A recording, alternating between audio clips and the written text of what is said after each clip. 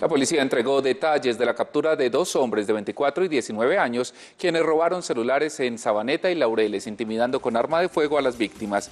Agentes de la Policía Metropolitana persiguieron por la avenida Las Vegas en sentido sur-norte a dos hombres que se movilizaban en una motocicleta, luego del hurto de cinco celulares avaluados en 10 millones de pesos y también de documentos de identidad.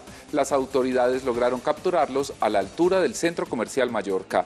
El subcomandante de la policía dice que los jóvenes eran residentes de la zona nororiental de Medellín.